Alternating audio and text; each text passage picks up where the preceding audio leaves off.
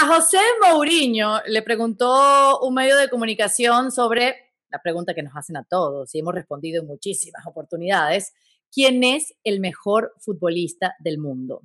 Y para sorpresa de algunos, no respondió ni a Cristiano Ronaldo ni a Leo Messi, sino a Ronaldo, Ronaldo Nazario, el fenómeno.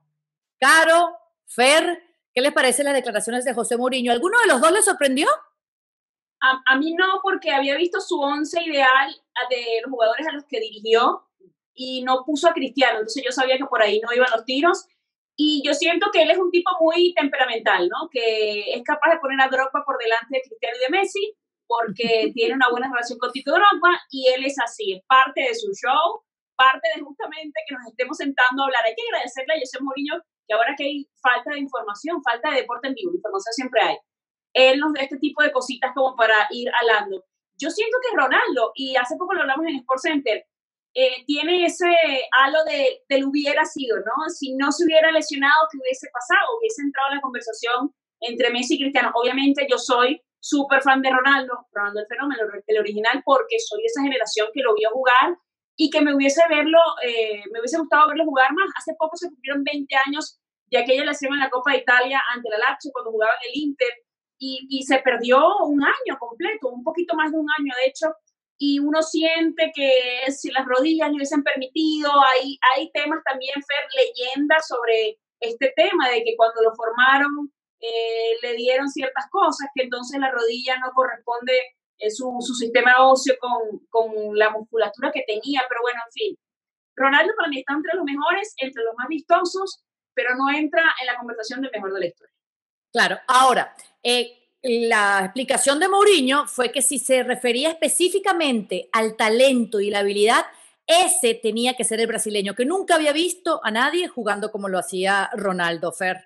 ¿A qué se refieren cuando preguntan cuál es el mejor jugador que viste? De la historia. ¿Pero a qué se refieren? Bueno, yo incluiría títulos, gestas, goles, habilidad, de todo un poco. Me parece que tiene que ser el que tenga el paquete completo. Cada quien los coge a su gusto.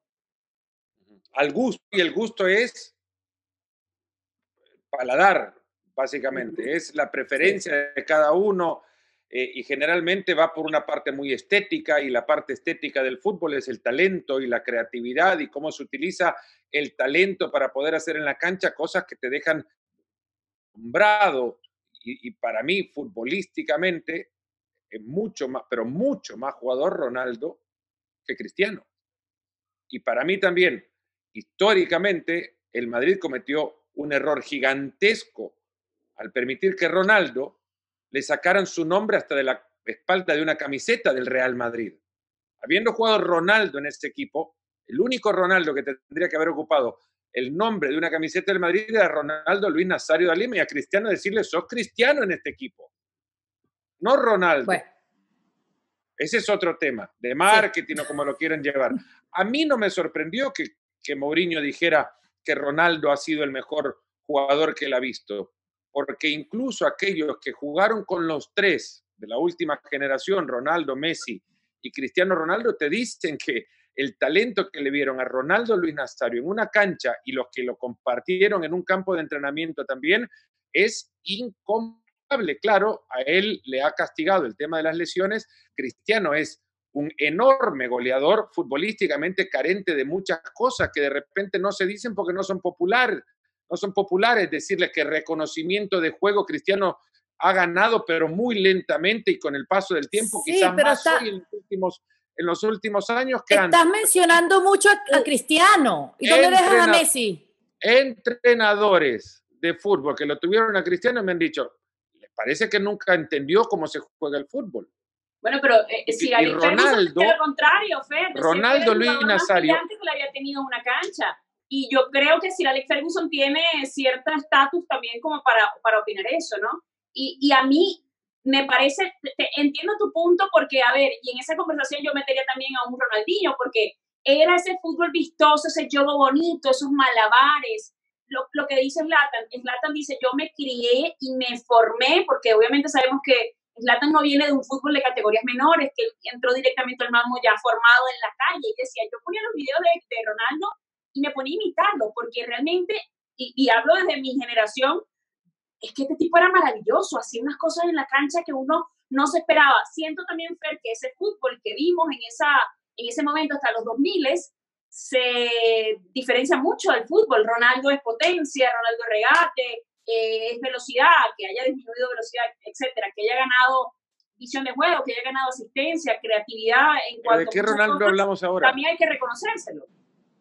¿De qué Ronaldo? Porque Ronaldo Luis Nazario también eh, era, era la definición de potencia y velocidad con la pelota en los pies. Sí, pero me refiero a que Cristiano, quizá la característica principal que le vemos no es hacer malabares como hacía. No, pero los, los tiene, los tiene en lugares a donde no hay más trascendencia que para él mismo. Ahora, eh, futbolísticamente ha reconocido lugares en el campo que le convienen mucho a él también. Cristiano es mucho jugador y ha sido mucho jugador para él mismo.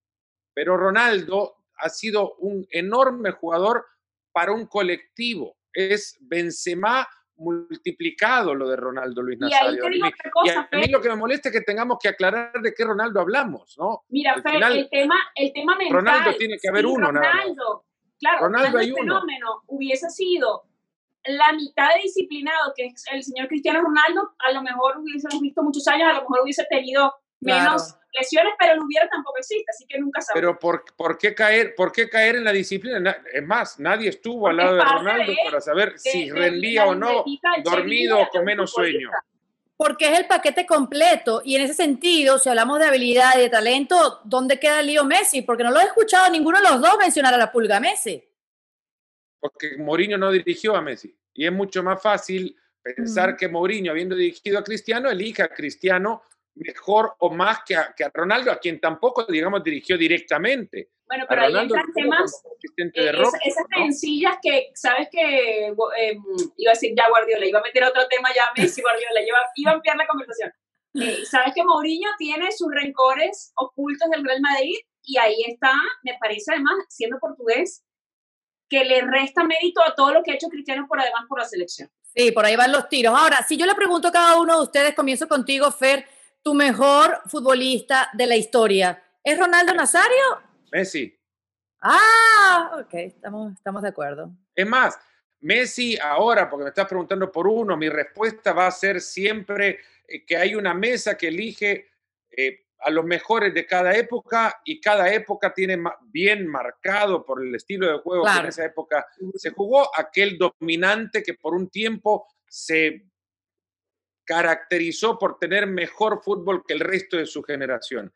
En esa mesa están Di Stefano, Pelé, Cruyff, Maradona y Messi. Y Ronaldo ahí, Ronaldo Luis Nazario ahí nomás. Me hace falta tiempo nada más de una carrera más larga, por eso que las lesiones lo limitaron, pero calidad toda como para poder estar ahí, las lesiones lo castigaron.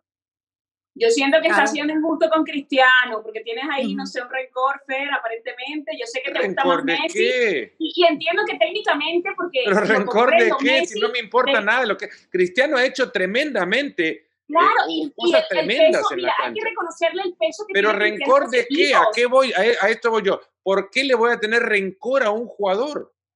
Bueno, no sé, pero me gusta uno por encima del otro. Si, la no es rencor. de los dos mejores del mundo siempre están Messi y Cristiano, ¿por qué lo dejan Porque todo el mundo dice lo mismo. Tú, yo decido no decir lo mismo. Yo decido no decir lo que todo el mundo quiere que uno diga Cristiano y Messi, la misma generación. A mí me llena muchísimo más el fútbol de Messi y, a, ti, Caro, el fútbol de quién te llena más. Para ti, ¿quién es tu favorito? Cristiano, por ejemplo. A mí me gustaba más ver a Cristiano. Porque, bueno, por ejemplo, ese, pero le tener rencor a Messi. No, no, me parece un tipo maravilloso y me encanta verlo jugar. pero ella lo llama Messi por sus dos nombres, Lionel Messi. No le quita uno de sus apellidos como tú haces con Cristiano, Fer.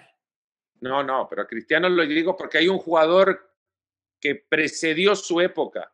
Bueno, pero que se apellida Ronaldo, ¿qué culpa tiene que se apellide Ronaldo? Y que no es su apellido, es su, nombre. apellido está en su camiseta. es su segundo nombre, Cristiano Ronaldo o Cristiano. Ronaldo para mí solo hay uno. Bueno. Fer, eh, ¿Caro? Yo siento que Cristiano superó a Ronaldo. Esa es mi, esa es mi versión. Muy bien. Y, y, yo voy a hacer una analogía, claro, y tú vas a dar la razón. en el tenis tenemos a Roger Federer y a Rafa Nadal. Rafa Nadal es la potencia, la fuerza. Eh, ¿Quién es mejor? ¿Quién es mejor? del otro lado tenemos un tipo Pero ¿quién es mejor, Caro? ¿Quién es mejor? ¿Rafa Nadal? Federer, pero yo soy Rafa Nadal, Rafael Nadal o Roger Federer. ¿Por qué le tenés rencor a Federer? No, no, no. ¿Tenés qué rencor le tenés a Federer? ¿Por qué Federer no es el mejor? Mira, Palomo, no seas rencoroso. estoy diciendo, pero te estoy hablando que mi, mi opinión o mi gusto se, se orienta al lado de Rafa Nadal pero yo no soy como tú que lo dejo fuera de la conversación porque no me gusta, no. Yo sé que yo lo, dejo fuera de la conversación, de los mejores de la historia cristiano, no porque no me gusta, porque no es parable con el fútbol que entregaron nosotros. A Messi puedo comparar con Maradona, con Di Stefano, con Pelé, todo lo demás. Cristiano es el mejor goleador de la historia, naturalmente es el mejor, es más, lógico, evidente que es el mejor goleador de la historia pero no porque haya hecho aunque sea no porque haya hecho menos goles. no porque no puede estar en el mismo salón si quiere. No porque le haya hecho menos goles Ronaldo no debe estar en la mesa de los mejores futbolistas que entregó mucho más al fútbol que goles. Bueno porque a ti te gusta lo más vistoso pero Cristiano es pegada y pum, gol. De lo que bueno, y, y, no me vas a convencer que el fútbol a mí me guste de la manera en la que me gusta. No, no, no, mira, no sería tan osada, pero... no, pero no le den por Eso sería una misión imposible, convencerlo a Fernando Palomo. No es por ningún rencor, no, hay cosas por las que sí me pueden convencer y muy fáciles, pero no me van a convencer que por rencor a Cristiano yo no lo pongo en la mesa de los mejores.